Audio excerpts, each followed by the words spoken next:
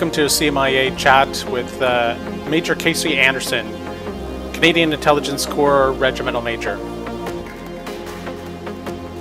Our history as, as an Army Intelligence Corps in the Canadian Army is extremely relevant to us today.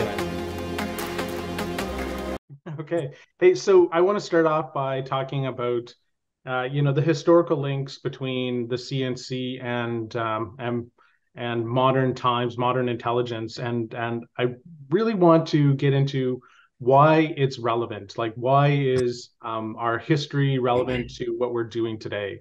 I would offer that um, you know our history, as I will, I will elaborate on that, but I I would you know sort of posit uh, if I had a thesis that it's relevant to us today in the same way that any history is is relevant um, in that our past, from my perspective, is incredibly important uh, towards understanding who we are um, today and, and the context context in which we live within the world at large. And so, you know, for the intelligence corps today, um, we are in this hybrid uh, joint intelligence branch, which I, I, imagine many of our predecessors, you know, prior to uh, uh the 1960s, probably would have never imagined. Um, so that and that's that's within the unified structure of the modern Canadian Armed Forces, which again um, is sort of hard, hard, probably difficult to imagine if you were, um, you know, serving between uh, the, the 20s and uh, and 50s. Um, but it is the reality in which we serve today, and many many of our um, uh, proudest achievements uh, have have of course happened recently, but there's a great deal of them that have happened um, historically um, particularly in the, the period uh, of the Second World War and earlier. And I I believe that for any uh, Canadian Army, you know, uh, intelligence soldier or officer, uh, but particularly leaders, understanding our uh, connection uh, to our predecessors, particularly the Corps of Guides, and um, what I will call the Corps of Cyclists, although that, that is a, a, technically incorrect term, is, is really as fundamental as knowing the intelligence cycle which I, I appreciate is a, a bit of a bold um, claim, but I will unpack that a little bit more. Um, we're all aware about the you know the conversation that has has been occurring and, and remains ongoing about culture uh, in the Canadian Armed Forces, and I think that um, our historical the the historic you know the our history is um, is very in a very important aspect uh, to our culture, and so um, you know, I uh, I knew that you were uh, going to ask a, a, version of this question, so I actually looked up, um, you know, culture and the uh, the definition rather. And so, culture, at least according to Wikipedia, is our uh, social behavior, our norms, including our beliefs, our customs, traditions, knowledge, habits, et cetera, et cetera. And it includes both the, the non-material and the material.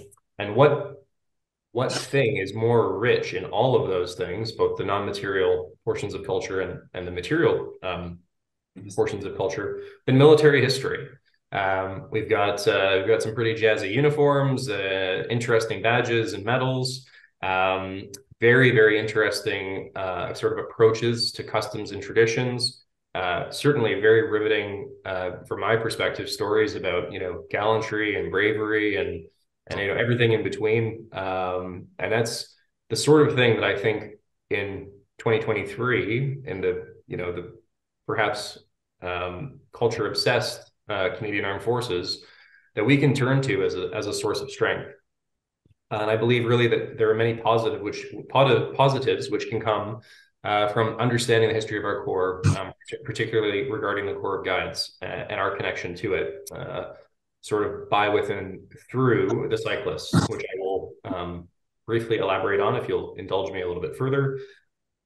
Um, so, as uh, as Colonel Scarab uh, knows all too well, uh, and I'm just reciting uh, the brief that he gave me in uh, uh, 2011 now.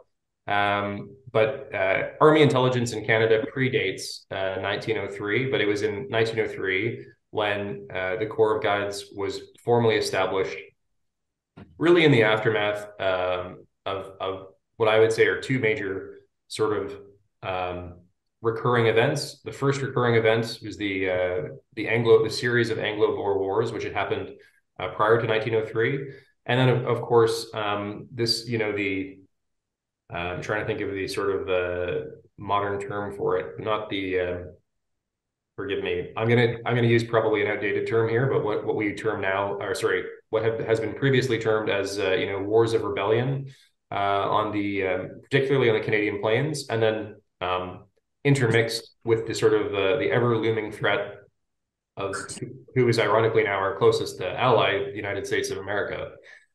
Um, and so the concept for the Corps of Guides, in in simple, when it was established, was a sort of like a pseudo light cavalry slash human slash mapping unit. Um, which, when you put it like that, is maybe that's something we could do with today. I don't know. Um, it sounds pretty it sounds pretty interesting. It might help with uh, recruiting. But I, I digress. The whole concept was that we would have um, guides, uh, officers, and soldiers sort of dispersed throughout the hinterland of uh, of Canada, which still today much of these places are you know relatively sparsely inhabited. But their role was to understand um, you know the weather, enemy, and terrain of their specific locale, uh, wherever they happen to find themselves in Canada, and that I think the concept in brief was that in the event of trouble, you know, you you define what that means, but in the event of trouble in their locale, uh, the government of Canada, which again at the time uh, was in 1903, I think I've got my dates right, was uh, at that point effectively wholly responsible um, for its own defense. There were still some British garrisons in, I believe, uh, Halifax and uh, Quebec City, and probably few other places. But the, my point is, um, you know, if help was going to be coming from uh, from the United Kingdom, it was to, it was going to take a while, and so any help that was going to be coming was going to be coming probably uh, from uh, soldiers already in Canada, probably soldiers of the uh, what we would call today the Army Reserve, or at the time the non-permanent uh, active militia. And so those soldiers, you know, who might be taking a train uh, for two or three days from I don't know, like uh, you know, Kitchener, Berlin, Ontario, as it, as I guess it was at the time, all the way out, um, you know, to you know Duck Lake in in the prairies um, they wouldn't know which farmers were friendly, where they could, you know, feed and water their horses, uh, which bridges were safe to put uh, cannon across, et cetera, et cetera. And so that was the concept of the Corps of Guides. And when um, war was declared um, against, uh, you know, effectively what we recognize today as Germany in 1914, uh, there was an, an a, order in council which was given out um, to all uh, members of the non-permanent active militia, the Army Reserve, and the permanent force or the regular force to effectively mobilize at uh, camp what would become Camp Valcartier. And of course, uh, the guides uh, were were mobilized along with everyone else. They reported um, to Valcartier en masse, and uh, effectively, at some some point in the process, there was a um, a staff officer. I'm picturing like uh, you know, the 1914 equivalent of, of Ian Ferguson with a clipboard. And uh, he's looking, he's got on his clipboard, he's got the table of organization for uh, a, an infantry, an expeditionary infantry division. And on it, uh, there was no role for the Corps of Guides, um, not only because they, they hadn't been accounted for in this expeditionary force plan. And then on top of that, the, of course, the French and Belgians were, were uh, and are thankfully our allies. And so they would be responsible if anyone needed guides and needed to know about, you know, which farmers were friendly, et cetera, et cetera. Well, that would of course be their role. Um, that would that would only make sense. It's their country. So the guides were found without a role, without a home in this uh, what would become the first Canadian contingent.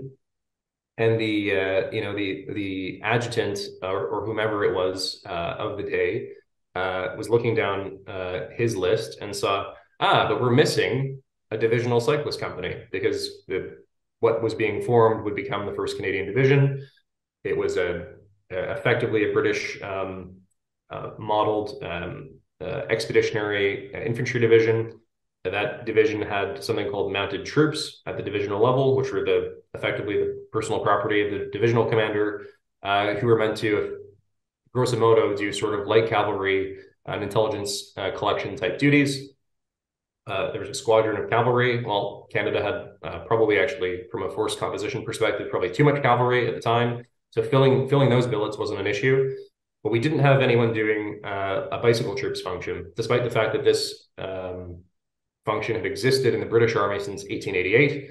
Um, so perhaps you know uh, the uh, the analogy is that the bicycle was the F thirty five of 1914. Uh, we were late to the party, um, but we decided that we wanted them. We needed bicycles, and of course, um, again, I'm referring to the 1914 of uh, of the Edge, um, who's looking at his list, and you, the logical connection is not it's not a huge leap.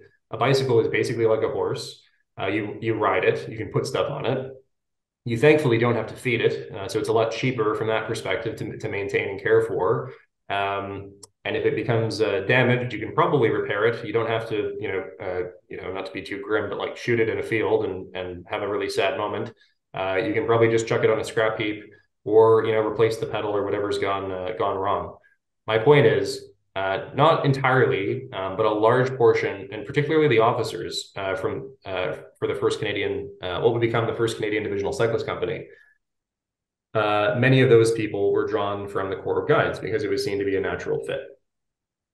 in the aftermath of the war, we'll skip ahead. In the aftermath of the war, the Canadian Expeditionary Force, um, which was the effectively the Canadian Army in France and Belgium, was disbanded and, and sort of reconverted to peacetime um, a series of um, commissions began in Canada looking at the composition of um, of our at the time Army Reserve or non-permanent active militia, and looking to rebalance it uh, to match it both in uh, character and function. And when I say character, I mean preserving the customs and traditions of, of the Canadian Expeditionary Force, which had largely recruited regionally and aligning aligning existing militia units with uh, the historical units that had effectively ceased to exist when the, the Canadian Expeditionary Force was disbanded.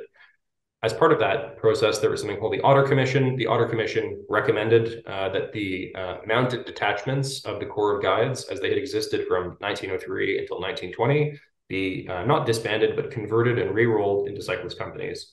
That happened uh, as a result of the recommendations of the Otter Commission. So effectively, in the aftermath of the First World War, the Corps of Guides, knowing that they would be, um, if they were going to be needed in an expeditionary role in the future, uh, the sort of Corps of Guides concept uh, was no longer that relevant, and that they should maintain the capability to uh, deploy and fight as cyclists. And so that's what they did until their disbandment in 1929. Um, but throughout that process, uh, members of the Corps of Guides were responsible for the, what we would recognize today as the uh, military intelligence function in Canada. So in the interest of not going too long, uh, I will stop there. But that is why we have a connection to this thing that to people today might seem pretty arcane, um, and that's why I believe we have uh, lots of reason to uh, to maintain our connection with it. So, hey, Casey, that was awesome. Um, I'm sure we could actually use that, uh, or you know, if we can ever get uh, YouTube on on DWAN. Um, you know, the school could just use that as part of the uh, future lecture series on, uh, you know, for the Army serials, uh, you know, our our history and heritage. Um, so there must have been a lot of interesting lessons uh, and uh, stories that are really relevant to us today. You know, um, but you know, interesting lessons from them, but interesting lessons that also affect us today. Um, could you share a, one or two of those with us that you think are uh, relevant uh, to how we do business now? I will do uh, three, but I will keep them much shorter than the last one. Okay, perfect. Um, so the the first one, so I spoke I spoke about um, you know the, the, the first contingent, which became the first uh, Canadian division, uh, mobilized or raised at Valcartier, and then deployed to England, and then shortly thereafter um, to France and Belgium. Um, so that was uh, the first cyclist unit that was um, created, and um, I guess what I what I'll sort of pause and I, I, it's I think it's interesting to sort of drill right down because I've been talking about you know the organization, um, which is pretty ethereal, and I mean if we're being honest, not particularly interesting. So maybe don't play that clip to. Um, I mean it's interesting to me, but uh, my wife my wife doesn't find it particularly interesting after um, you know, seven years of uh, dinner time conversation being about how the uh, first Canadian contingent was organized. Um, I digress. My point is, uh, I thought it'd be useful to sort of focus in on a, a single uh, individual versus just you know uh, how how things were administered. Um, although it's the military, so there is actually an administrative component uh, to this story. Uh, so uh, I have, I'm very fortunate having my uh, personal collection. Uh, you can see here, uh, and I'll send you, sir, I'll send you a photo of this that's much better than this, but this is a, um, this is a medal mm-hmm. and it's the uh, Imperial Russian Order of St. George third class. And I, it, it, was awarded to a fellow named um, Private Arthur William Dunham. And that medal, which I'll actually hold up again, uh, so this medal is extremely significant uh, to the history of our Corps because it's actually the first gallantry award.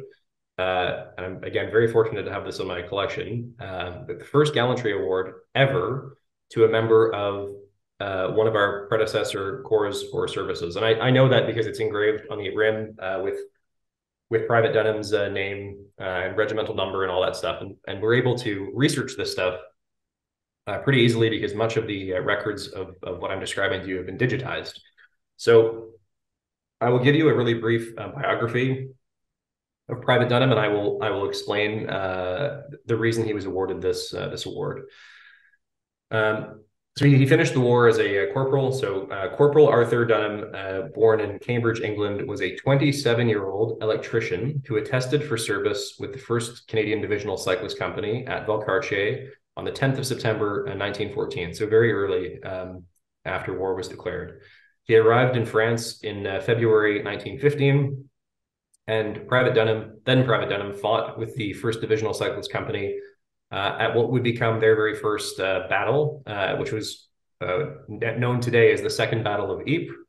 Um, and he was he was awarded the Imperial Russian St. George Medal, um, third class, for his gallantry on the 25th of April 1915, uh, during specifically during the action at Saint Julien. Um, so that's the action which occurred. It was a series of uh, attacks and counterattacks, both by us and the uh, Germans, in the aftermath of that very famous uh, gas attack, which had occurred uh, two days uh, previously.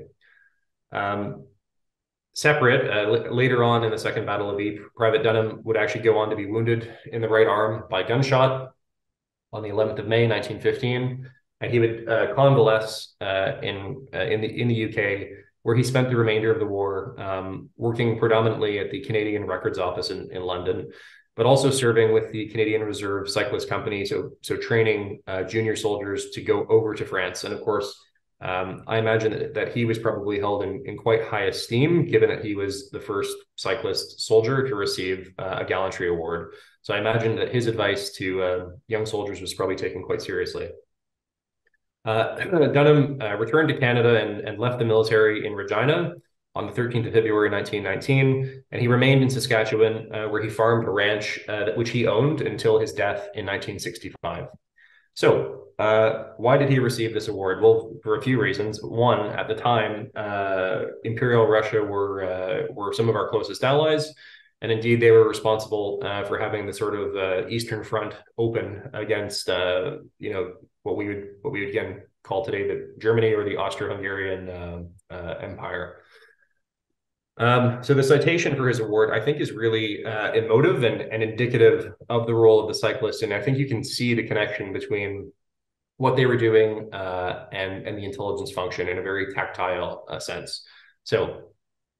His Imperial Majesty the Emperor of Russia has been graciously pleased to confer, with the approval of His Majesty the King, the undermentioned award for gallantry and distinguished conduct in the field, Medal of St. George, third class. Uh, for excellent and prompt reconnaissance under rifle and shell fire in front of Wieltje, uh, which is in Belgium, on the 25th of April, 1915, during our counterattack.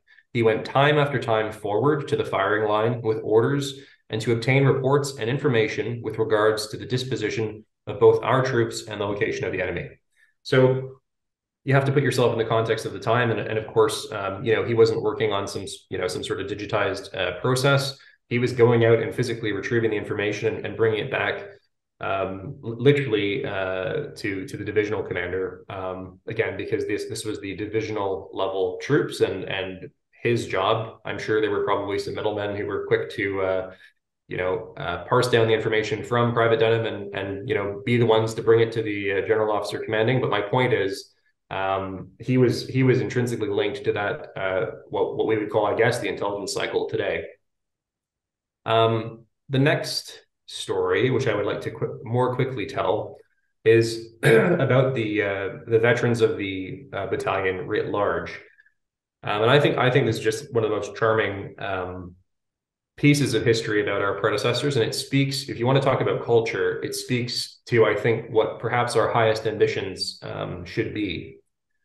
So, um, in the aftermath of the First World War, uh, when the uh, Canadian Expeditionary Force was disbanded, uh, most I mentioned already that most units of the uh, of the Expeditionary Force had had recruited uh, territorially. That's not universally true, but the the cyclists were actually rather unusual in that they they were a uh, what I would call like a national um, corps. And so they didn't have, you know, uh, what we would call today a home station. There wasn't an armories where all the cyclists, cyclist veterans could get together at and, um, you know, meet up, uh, whether to continue serving in the reserves or otherwise. They went back to their you know their homes so they, so they went about they went about their lives. And indeed uh, approximately 1200 uh, men uh, served in the uh, what we would call the cyclist uh, uh, corps i guess which was really an amalgam of actually about six different units. Um, and many of them were actually had nothing to do with soldiering before the war and many of them would go on to be very influential canadians. Um, i won't read the list out to you but if you look up uh, the Cyclist Battalion, Canadian Corps Cyclist Battalion's Wikipedia page and look at uh, you know notable members in the uh, the bottom. The list is surprisingly long and includes um, chief diplomats to the to the United States of America. Uh, you know, our most at, and at the time when this was happening, absolutely our most important ally.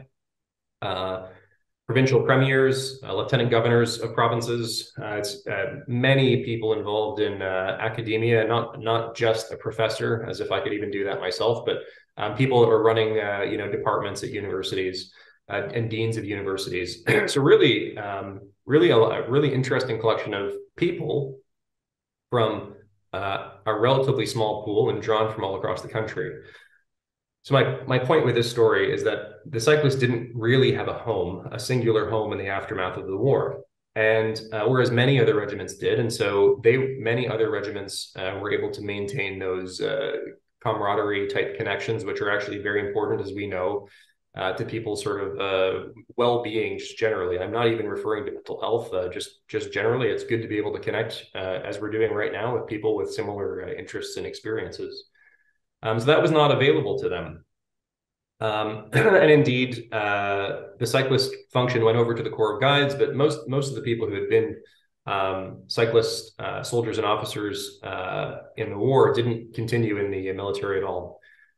So it wasn't until 1934 when um, I guess enough time had passed, and uh, you know, old comrades had you know had been dying, and there was probably an impetus to try and get the band back together, as it were. And so uh, in Toronto in 1934, there was something called the Canadian Corps Reunion, uh, where veterans from the Corps uh, were invited to sort of uh, congregate at Toronto um, and uh, and look for their old old comrades. There were sort of tents and tables set up. You know, 214th Battalion over here. You can go and you know congregate at the table and see if you recognize anyone. No, I wasn't there very long. Okay, I'll walk over to the 17th Battalion table and so on and so forth. And it was at it was at this reunion where for the first time to my knowledge there it was the first uh, sort of formal congregation of men from the battalion um, and i'm not a mathematician but like 15-ish years um, which must have been really quite emotional I, I, suspect. And it was there that they decided to form the cyclist battalion association. And uh, again it was really more like a cyclist corps association because they took they took all members including men uh, who had never served in the battalion but had been in one of the one or two of these other um, uh, cyclist units, which I'm sort of lumping under the, the cyclist corps uh, title. Um, and it's really a real, it's just a really charming story. Um, they never set out to sort of, you know, seek fame or recognition. Um, they maintained um, a journal uh, or, you know, internal journal or, or, sort of news, more like a newspaper called the Cyclone. Uh, and it, which was maintained for, I think, almost 50 years, or maybe even over 50 years. Hmm. uh, after the association was formed in 1934. And it was if you if you have the privilege to go and read uh, copies of the Cyclone, which which are held at the um, uh, library uh, library archives of the Canadian War Museum and elsewhere, but the the sort of only full uh, repository to my knowledge is there. It's it's some of the most like inane uh, material that you could ever read. You'd think, why were they going about you know recording you know Bob Smith has has just had his third child. Sort of like really bizarre things that were getting mailed out across the Canada, all across Canada and even the world. And it's because they cared deeply about one another. They weren't really interested so much in capturing, uh, and at least initially, the, the history of the, uh, the, the battalion and the, and the independent companies. They were just trying to find out what Bob Smith was up to because I've been thinking about Bob Smith, and gosh, I haven't seen him since we were in that trench together in Belgium. And I, I just think it's uh, it's it's it's really hard to convey, but it, and I, I, I will close it with a more personal vignette that sort of indicate that to me gives the the depth of the story. But it's so I just think it's so charming that they were for 50 plus years organized in finding out what one another were doing. And and not and not petitioning the government you know for a monument or anything like that. It had nothing to do with really the wartime service. It had everything to do with the uh, the friends that they'd made along the way as the saying goes and i i think there's a lot to be said for that from a cultural perspective a lot uh, the last vignette, which links directly to that, is uh, the story which many of you will know, but uh, I will retell it briefly for posterity. Um, Dick Ellis and Billy Richardson, who were the last two cyclists. Um, rather alarmingly, Dick Ellis was the first president of the uh, association, and he was also the um, uh, probably the most frequent president of this the association, and he was also the editor of um, its journal, The Cyclone.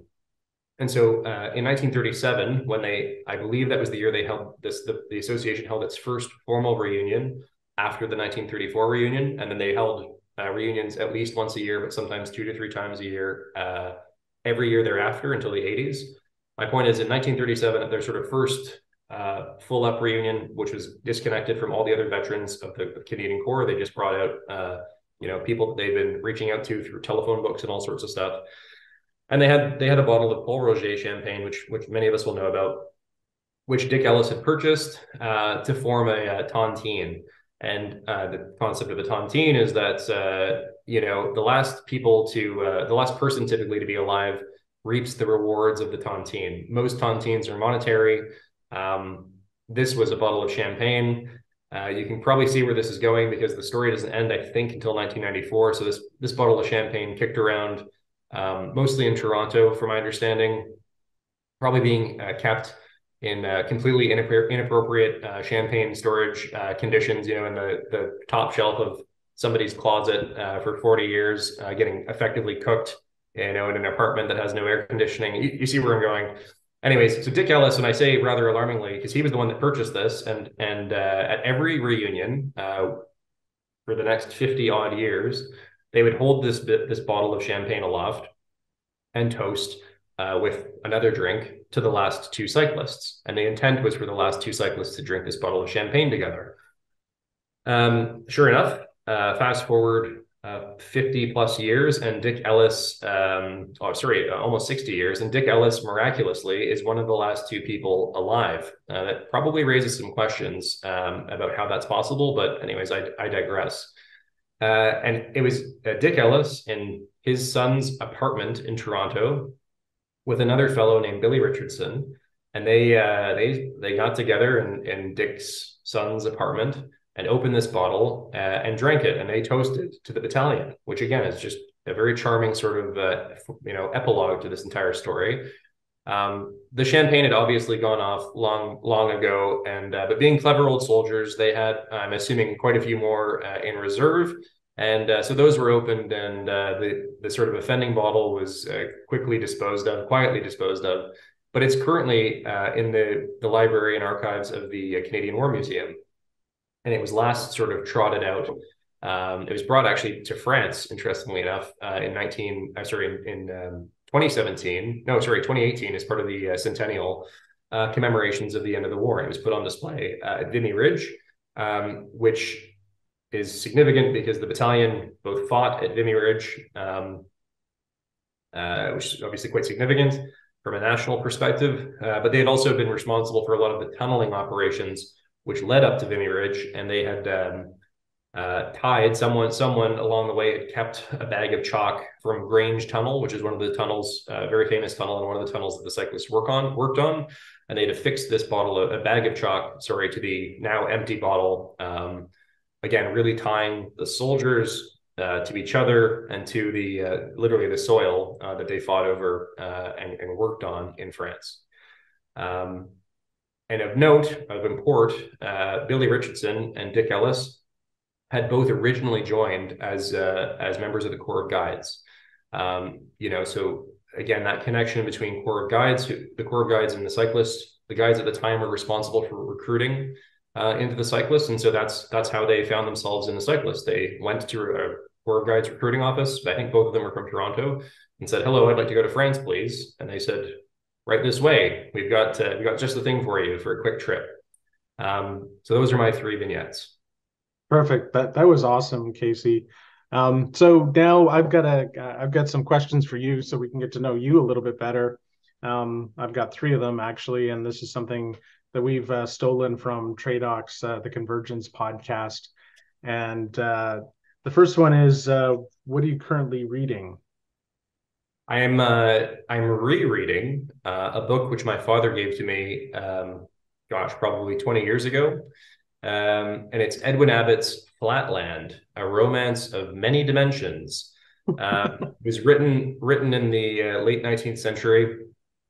Uh, I haven't I haven't read this book since uh, uh, well about about 20 years ago when I was first given it. Um, but if you're not familiar, I strongly strongly recommend it. It's a uh, it's a short book. It's a novella. I I started it yesterday on the, on the flight back to to Italy. Um, but it's uh, it's it's satire and it's it's written from the perspective. So Ed, Edwin Abbott was a, I believe, a Roman Catholic um, priest. Uh, he, he, was certainly a religious scholar of some sort. Um, and the book is written from the perspective of a uh, a square who who lives on a two dimensional plane. And I won't give the the game away, but he is visited by a sphere from the third dimension. And this uh, effectively breaks the square's brain um, because he becomes a prophet uh, to all the other people of uh, Flatland where he lives. Uh, they, of course, think he's completely nuts because he's trying to describe uh, something in the third dimension, which is something that if you were to live on a two dimensional plane would be very difficult for you to conceive. The whole thing's a, a metaphor effectively for uh, for religion and the existence of uh, of heaven uh, and God, et cetera, et cetera, but also even dimensions um, beyond our own, uh, which is it's yeah, it's it's it's great. I'm really enjoying it. I'm about halfway through. Um, the only thing that stopped me was falling asleep on my uh, my flight. So yeah, I'll be I'll be opening up again uh, after this weekend. Perfect. That's awesome, Casey. Um, so next question is tell us something about yourself that uh, most people won't know. You know, some of the people will know it, but but of course, you know that you want to share, which will become public uh, once you tell us about this. Yes, sure, sure. um, uh, this isn't like a security interview. No, um, no, not at all. No, okay, gosh, no. Um, perfect. Colonel Babby told us about his uh, fly fishing, for example. Oh, I'm not nearly as interesting as Colonel Babby. He's uh he's an Oxford man or Cambridge or something something important. Um, yes, exactly. I uh, gosh, I don't even know. I am the only uh, intelligence officer in the CAF who is who is a graduate of the Royal Army Survey course uh, in the United Kingdom. Um, there's a longer story there, but if you do if you do badly enough on the basic int officers course, they post you to the uh, mapping and charting establishment. Uh, I'm I think I'm the only person that's ever been posted to the mapping and charting establishment after uh, BIOC. So that tells you how badly I did. And um, I owe the I owe the uh, Royal Canadian Engineers um, my firstborn, or maybe just a debt of gratitude if they'll take it. But uh, I was sent on on that course uh, through them. I was sponsored by uh, the Mapping and Charting Establishment uh, to go and do that course uh, in, instead of an engineer, and I uh, met my wife there. Uh, so. Nice. Yeah, and so that's why I have a firstborn. Um, so there are other people who I think have been granted the qualification after um, uh, I guess you know uh, commissioning from the ranks uh, or or, or re- rebadging after being a geotech. But I think I'm still the only person to ever actually attend uh, the geo officers course in the UK, uh, which I'm proud of. Hmm. That's that's awesome. That's that's really great. So now the the hardest question and the one you'll get mocked for the most is uh, what's your favorite movie and why? Oh, okay. Uh, we're uh, my favorite film is uh, is The Man Who Would Be King, uh, which Oh. I shouldn't be mocked for because it's a classic, and I'm seeing some thumbs up uh, from Yeah. from my dear friend Lars Peniston. Um, John Huston is the director. I think it was 1973 when it was made, maybe maybe another time in the 70s. Um, but it's considered to be John Huston's best film. It's shot in uh, on location, I believe, in Afghanistan. Um, it's a like adventure film about uh, you know two old uh, retired senior NCOs from the British Army who have no prospects facing them to go back to uh, back to normal civilian life in uh, in England. Um, so they effectively uh, choose to to demobilize in India uh, and then go and invade uh, a neighboring country with with hopes of um, effectively becoming uh, leaders in that country for the purposes of ransacking it. Um, but it's uh, Sean Connery, uh, Michael Caine, Christopher Plummer. Um, not exactly an ensemble cast, but certainly uh, one to be reckoned with. And uh, absolutely, like if I need to put on a, a film in the background, uh, that's my absolute go-to. Nice, really nice.